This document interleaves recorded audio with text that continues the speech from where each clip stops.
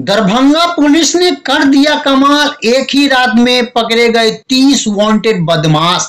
नमस्कार दोस्तों, हमारे चैनल बहुत बहुत स्वागत है और आज मैं हरिराम बात करेंगे कि बिहार के जिला दरभंगा की जिसमें एक पुलिस कमिश्नर के तरफ़ से अभियान चालू किया गया। वही इस अभियान में बताई गई है कि 30 बदमाश जो है, एक ही दिन और एक ही रात में बताई गई है कि पकड़ी गई है, जिसमें बदमाशों की लिस्ट में 180 बदमाश वांटेड है, जो फरार है और वो लोकसभा चुनाव से पहले ये अंजाम देना चाहते हैं और गड़बड़ी करने से पहले पुलिस यानी एसएसपी रंग के अधिकारी समेत पुलिस के साथ ही रात को ये अंजाम दिया जाता है। दरभंगा में बताई गई ये ये मामला है और इसको लेकर ज़्यादातर जो पकड़े गए अपराधी और बदमाश, वो ड्राइवर बताई गई है। और ये ड्राइवर जो रात को पकड़े गए और अब तक बताई गए मीडिया रिपोर्ट की अगर बात करें तो 180 वांटेड बदमाश जो दरभंगा में और ये बदमाश जो है, बताई गई है लोकसभा चुनाव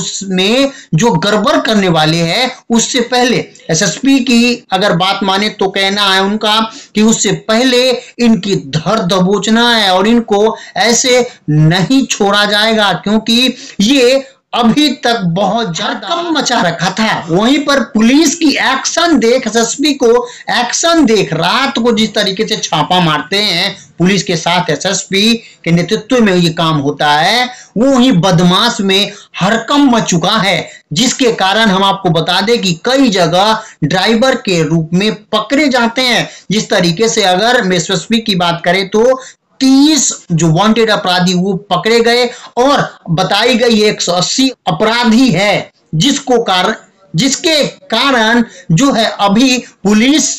चाहती है कि लोकसभा चुनाव से पहले सभी अपराधी को पकड़कर जेल के अंदर डाल दिया जाए, जो अब तक की सबसे बड़ी बिहार की दरभंगा जिला का ये काम और एसएसपी रैंक के अधिकारी रात को जिस तरीके से बदमाशों को और जो ड्राइवर है, वो चलाते हैं और उसके थ्रू पकड़े जाते हैं। तो दोस्तों, आज के लिए इतना ही। तब तक के लिए जय हिंद बंदे मातरम।